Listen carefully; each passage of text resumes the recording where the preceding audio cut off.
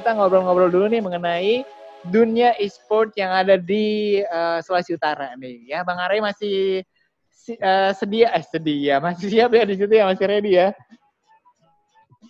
Iya, masih siap. Asik. Semangat. Masih semangat, harus semangat dong ya. Ini pride. Sulut pride berarti ya. Eh tapi kalau misalnya misalnya uh, mungkin banyak orang yang belum tahu atau uh, kurang terlalu tahu, ada nggak sih atlet-atlet e-sport dari Sulawesi Utara yang atlet yang e-sport? Iya, atlet e-sport dari Sulawesi Utara. Sulawesi Utara. Oh, banyak dong. Banyak ya? Itu. Contohnya? Dari ML ya, dari ML. Kalau Mobile Legends. itu. RRQ. Ini ya kan? RRQ. Ya. Hmm. Nando, Nando ada lagi RRQ. Iya. Ada lagi RRQ. Apa tuh? Uh, Skylar. Yang di, Skylar. di tim 2. Tim 2 sih dia. Ya, tim 2 ya. RRQ. Yang masih di hmm. uh, eh, MDL ya kalau nggak salah ya? MDL ya, kan kalau misalnya ML itu ada dua kompetisi Indonesia-nya yang resmi.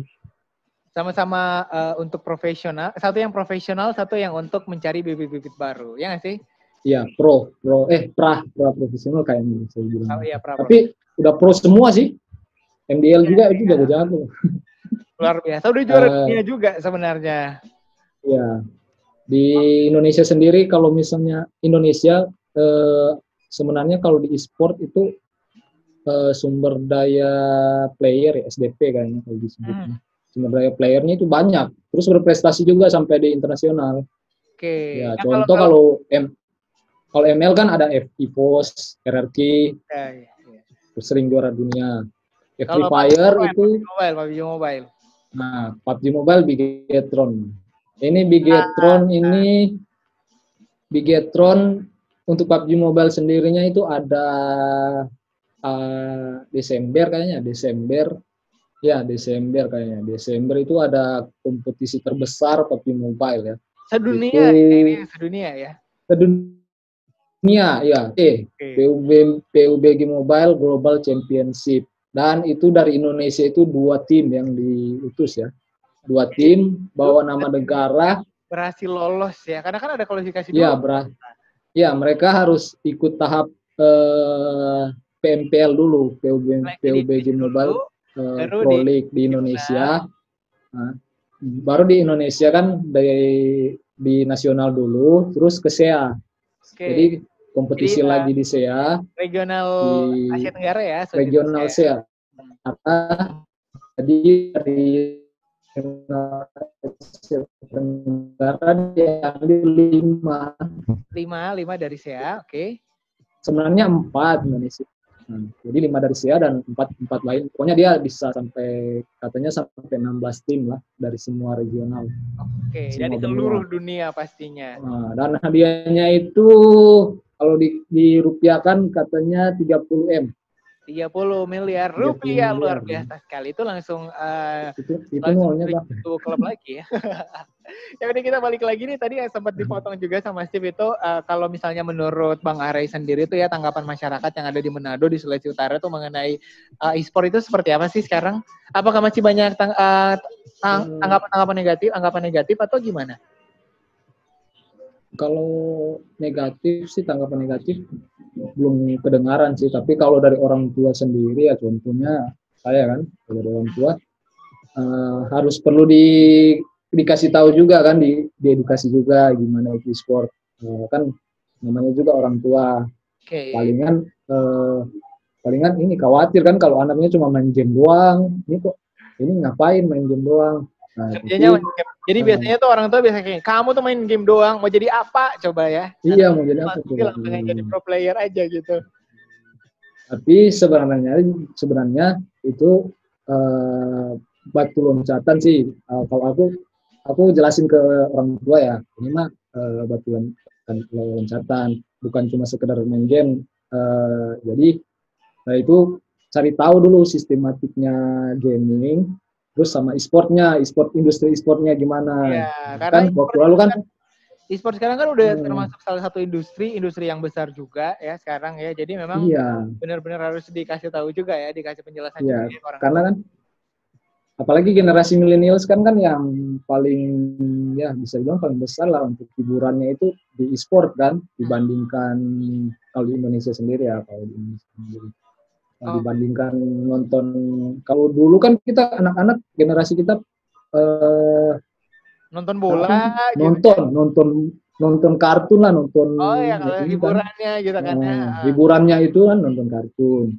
orang tuanya kita di generasi orang tuanya kita ya nonton bola Iya iya nah, iya. Tapi kalau yang sekarang ini ya sekarang kan e-sport lebih ya. ke e-sport. Iya, jadi anak-anak sekarang itu uh, walaupun mereka belum berkompetisi tapi kan mereka sudah lihat-lihat ini pro player. Ada ada juga anak kecil yang kenal loh pro player. Oke. Okay. Pro player terus kayak gitu banyak loh sekarang yang yang masih hmm. usia-usia muda tuh tapi uh, mainnya udah jago banget gitu ya berasa iya, bahkan jadi, di, jadi bocah gitu. iya, bocah-bocah. Bahkan ditanya cita-citanya mau jadi apa? Mau jadi youtuber, mau jadi pro player. Cuman nah, nggak apa-apa sih, karena uh, untuk di e-sport industri e-sportnya sendiri tuh uh, kalau menurut ya udah kelihatan sih, bukan cuma di kompetisinya doang ya, jadi bukan cuma di kompetisi, bukan cuma di pertandingannya doang, tapi di dalamnya itu ada ada orang-orang lain yang berperan kan, seperti penyelenggara itu penyelenggara, okay, event, event organize, uh, event organize-nya juga. Nah, di dalam event organize-nya juga kan ada vendor-vendor ya, ada pihak-pihak lain seperti ini. Uh, sampai kalau di timnya juga uh, ada salah satu tim di Indonesia yang sudah lengkap ya, sampai manajer marketingnya juga ada itu sampai. Rata-rata sih kalau marketing uh, campaign. Kalau untuk endorse endorse talent juga ada. Hmm. Kalau untuk uh, tim-tim e-sport yang udah gede sih memang udah sangat lengkap ya mereka ya untuk promosi ya, yang lain sebagainya itu ada bahkan juga iya. uh, segala sesuatunya untuk ada yang ngurus juga playernya ada yang ngurus jadi memang benar iya. satu satu industri yang komplit banget sebenarnya untuk e-sport ya. Tapi kalau hmm. kita lihat sendiri di daerah kita nih uh, Bang Arey. Kalau di kita kan masih ya mungkin masih dibilang masih perlu perlu bersabar dulu ya mungkin. Kenapa nunggu hmm. 5G dulu lancar di Manado dan Sulawesi Utara biar nggak ada lag-lag gitu atau gimana? Nggak tahu sih. uh, salah satu itu sih kalau menurut. Karena kan uh, karena yang namanya perlu jaringan bagus juga ya, ya. Yang stabil itu adalah satu hal yang wajib banget nih untuk e-sport. Sayang banget kalau misalnya di Sulawesi Utara di Manado pada banyak uh, apa ya yang yang berpotensi, anak-anak yang berpotensi untuk menjadi atlet e-sport, tapi kemudian gagal gara-gara ah gitu sering koneksi. ya. Hmm, salah satu. Koneksinya. Baru iya mau ngehit telat gara-gara koneksinya delay gitu kan. Juga itu pas nge-clash pas nge-clash kan pas war pas kontes waduh nge okay. lawannya itu lawannya lawannya tim-tim dari luar kan tim-tim dari misalnya dari Jakarta atau dari nah, mana yang dari yang mana gitu. itu oh, luar biasa ya. Hmm, uh, ini nih ini nih kan, uh, sebelum sebelum hmm. kita closing juga ini pengen tahu dulu nih uh, Bang Arey suka dukanya jadi jadi seorang uh, event organizer untuk e-sport di Sulawesi Utara apa sih sukanya dulu baru dukanya? Nah, plus minus ya. Kalau plus minusnya, Uh, kalau dari suka dari mungkin dari sukanya dulu ya kita okay. dapat pengalaman ya dapat pengalaman dapat dapat satu pekerjaan ya bisa dibilang pekerjaan karena menghasilkan ini juga kan. Oh iya, duit hmm. ya jadi duit dulu nih. Ya iyalah. Jadi gini nih ada duitnya. ngelakuin hobi kita tapi dibayar itu luar biasa banget. Iya. Terus, terus, terus, kita ngelakuin ngelakuin hobi kita ada duitnya Uh, terus kan di e-sport itu ada komunitasnya komunitas. Okay. Jadi bentuk komunitas dulu. Jadi kita itu bentuk komunitas dulu biar lebih rame kan. Terus karena ada komunitas bikin bikin organize biar uh, kan kalau komunitas sama organize kan itu kalau disatukan bisa uh, yeah. ya jadi eh, saling cocok lah. Ya, jadi saling, uh, saling membutuhkan juga. Kita hmm. butuh butuh kompetisi seperti tadi yang akan dilaku, dibikin oleh IO gitu kan, event organize-nya. Sementara Organize juga bakalan bikin satu acara yang heboh kalau didukung sama komunitas-komunitasnya. Komunitasnya ya kan? itu. Jadi banyak, dapat banyak teman juga. Lebih lebih lebih terkenal ya, ya. Relasi ya. Banyak lebih terkenal relasi, ya, ya. Seperti ya, kita berdua ini ya. kita berdua ini kan sudah sudah relasi. Nanti kalau kan, ada Steve juga itu yang pro-nya kalau, yang pros-nya. Yang kalau yang cons-nya yang yang uh, dukanya yang minusnya. Yang ya. dukanya itu ya yang dukanya itu yang mungkin uh, ini ya kalau misalnya ada kendala-kendala ya seperti nge-lag atau okay. jaringan kadang kan kalau di tempat kita di daerah kita kan ya jaringan-jaringannya itu eh, nggak uh, tahu ya, kadang naik ya. naik turun naik turun itu naik turun naik turun kayak hati naik turun terus apa lagi? Jangan jangan curhat jangan curhat. Oh, ya. oh di sini nggak bisa curhat ya? Kirain bisa curhat. Nah, ini lagi. Uh, uh, kendalanya uh, mungkin dukungan support ya support dari kalau support dari pemerintah masyarakat belum terlalu besar kalau dari pemerintah, uh, di support. untuk dari uh, pengurus besar e-sport Indonesia untuk Sulawesi Utara gimana dukungannya untuk dunia e-sport di ah. juga untuk PBSI ini kan PBSI baru ya. PBSI ini ya, baru di awal tahun 2020 ini mungkin memang kalau mau dipaksakan untuk terus bergerak baru aja mau bergerak udah pandemi memang belum terlalu terlihat juga untuk ya. tapi mungkin uh, kalau dari Bang Arey sendiri sejauh ini nih dukungan dari PBSI untuk uh, dunia e-sport di Solo itu seperti apa? Ya seperti biasanya sih. Untuk uh, kebetulan kita, komunitas kita juga kan uh, dekat sih sama uh, PBSI ya. pengurusnya itu ya. Tapi mungkin ada step step by step ya. Ada prosedur uh, ada prosedurnya dulu mungkin. Atau ada tahapnya tahap tahapannya dulu untuk dikembangin ya. Karena kan uh, uh, gimana ya dunia itu pokoknya kalau di untuk menurut saya yang saya kalau untuk perkembangan e-sportnya itu kita harus ini sih sering sering di sering bikin event lah sering bikin event. Jadi supaya kan nantinya uh, uh, uh, sering bikin event biar kan nanti masyarakatnya juga tahu kan oh ternyata event uh, gaming itu ada eventnya ada turnamennya ada income-nya juga. Hmm. ada banyak hal lah ya. Lama-lama pasti deh ya banyak hal. Dan positif juga ada hal positifnya juga.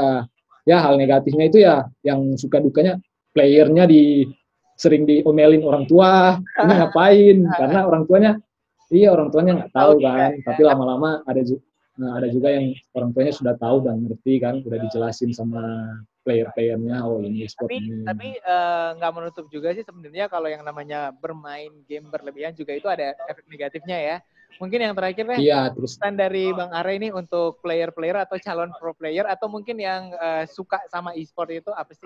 Uh, biar nggak terjebak hmm. dalam hal-hal yang negatif ya. Sisi lain lah karena kan dalam satu hal itu pasti ada dua sisi ya negatif dan positifnya ya. Iya begitu sih. biar enggak jadi kalau negatifnya eh, untuk uh, mobile game uh, pendengar ya pendengar dan mungkin ke pemirsa ya yang nonton atau yang dengar. Uh, teman-teman juga ya yang mau jadi pro player ya bisa lah. Kalau misalnya talenta kalian yakin talenta dengan talenta kalian jadi pro player bisa. Karena Uh, dan mau jadi lain juga bisa di industri, di industri sport kan bukan cuma pro player, kan, jadi coach juga. Uh, ya, coach, ya. Jadi manajer juga bisa. Jangan salah, coach-coach juga kadang dulu mainnya uh, noob juga ya. iya. Karena kan ada kebanyakan sih. Ada bakat kan, ada orang yang bisa membaca strategi, hmm. tapi um, ketika dia melaksanakan sendiri agak susah ya. Tapi iya. ada orang yang mainnya jago, iya. diarahkan sama. Kayak ini kan. Strategi Iya, kayak di sepak bola kan begitu kan, nggak semua coach sepak bola itu pemain dari main dari dari apa dari pemainnya dari pemain dari yang pemain atletnya yang bagus, ya, ya. memang udah terlahir mungkin bakatnya ya. nah mungkin udah terlahirnya bakatnya jalannya itu udah di coach gitu manajer bisa hmm. atau mau jadi penyelenggara juga bisa kan hmm jadi penyelenggara jadi organize kayak kita ini kayak saya ini penyelenggara. Mungkin jadi sama awalnya sih dari pro player sih tapi hmm, awalnya dari pro player tapi ya. Caster, ya kan? Caster itu kan juga uh, masih masuk juga mungkin ya, coba dulu. Iya jadi caster. Aku sempat jadi caster waktu lalu uh, dua uh, dua bulan tiga bulan ya jadi caster. Oke untuk salah lumayan. ya. Dan oh, ini nih iya, uh, lumayan lah. lumayan ya bayarnya lumayan ya. Aduh bagi-bagi cuy. Eh ini nih ini mungkin yang terakhir nih ya kalau misalnya duitnya lumayan. Duitnya lumayan. Iya dong ya setiap hari gitu kan ya. Yeah. Uh, tapi syarat untuk menjadi caster itu yang paling penting juga harus ngerti gamenya juga ya kan. Nggak perlu uh, soalnya kalau ngomongnya yeah, di gamenya yeah. ya susah juga. Ini deh, ini kalau misalnya tadi kan udah ngomongin soal perkembangan ya, perkembangan e-sport di Manado. Kalau boleh tahu untuk yang ada di Manado dan juga Sulawesi Utara, ada nggak sih yang benar-benar uh, profesional tim e-sport di dari yang dari Manado yang benar-benar dari Manado tapi udah sebagai satu tim e-sport itu udah benar-benar uh, menuju profesional atau mungkin udah dikelola dengan baik? Udah, udah di, udah bahkan sudah masuk SIN PNPL ya. Oh. Dari PUBG-nya sendiri mereka sudah masuk SIN PNPL. Oh. Nah, untuk masuk SIN PNPL itu kan harus manajemennya yang teratur, iya, terus playernya harus playernya itu jelas digaji begitu. Nah, Jadi aturan karena itu ya. Aturannya ya aturannya dari dari development sama ini sih sama penyelenggaranya itu. Oke deh. Karena itu liga skala besar kan. Hmm. Liga yang skala besar. Iya. Oke kalau gitu terima kasih uh, Bang Are ya. Mungkin sebelum kita berpisah, mungkin ada yang pengen dikasih tahu dulu nih sebelum kita closing untuk sore hari ini. Uh, apa ya? deh kayaknya. Kasih semangat dong, kasih semangat dong buat Iya, semangat. Ya, teman-teman juga mau pesan, mungkin mau pesan ya. Utara. Eh, pesan-pesan mungkin dari saya ya pribadi mungkin tetap semangat ya tetap dukung terus e-sport Sulawesi Utara ya dan uh, jaga sportivitas masing-masing apalagi untuk teman-teman player jangan terlalu terlalu ini jangan oh jangan juga terlalu berperan lah kalau ini soalnya kalau di e-sport ada yang baper-baper kan terus uh, apa uh, itu langsung down kan kalau bapernya itu langsung performancenya langsung menurun kalau terlalu banyak operannya. Jadi ya latihan-latihan juga perlu banyak latihan kalau mau jadi mau masuk ke scene e-sport atau mau jadi pro player atau mau jadi apa pun caster lah atau penyelenggara atau apa pun. Nah, pokoknya ya begitu lah. Semangat oh, terus. Oke, ini deh. Yang terakhir kalau misalnya ada yang pengen cari tahu mungkin event-event ataupun juga ada uh, scrim-scrim uh, yang sekedar-sekedar gitu ya dari Bang Are mungkin bisa cari tahunya di mana nih? Di ini di Instagram. Instagram Jadi Instagram, Instagram apa? Esport Organize Manado atau IOM. Nama nama Instagramnya IOM Turnamen dan leader leader IOM BGM Sulut. Jadi IOM e IOM dot turnamen. IOM dot turnamen sama di uh, leader PUBGM Sulut. Oke, jadi jangan lupa ya pengen cari tahu informasi-informasi di mengenai ya. Hmm. Tapi kalau di uh, e EON uh, uh, apa tadi EON dot organizer turnamen. Oh ya ada turnamen. Ya, itu apakah Sport Organize Manado? Cuma untuk uh, PUBG Mobile atau untuk semua semua Semua.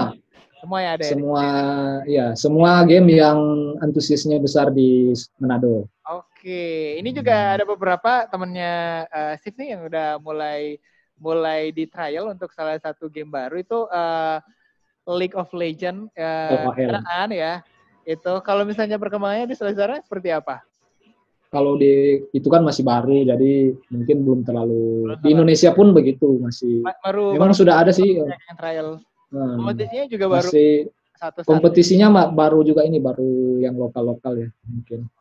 Ini hmm. persiapannya sih kompetisinya bakal ada di awal tahun depan. Itu informasi aja nih ya buat yang suka sama uh, e-sport. Jadi uh, mungkin kamu yang ngerasa kurang beruntung di beberapa e-sport yang lain, beberapa game yang lain boleh nah, juga. Bisa pindah game juga, banyak kok.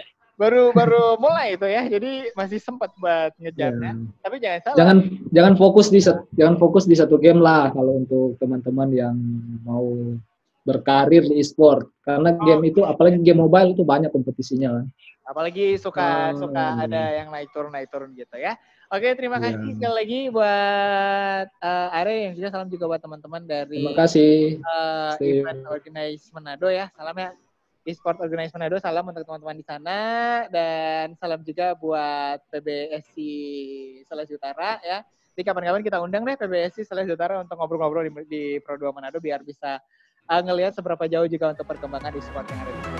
Sampai ketemu lagi ya, Are ya.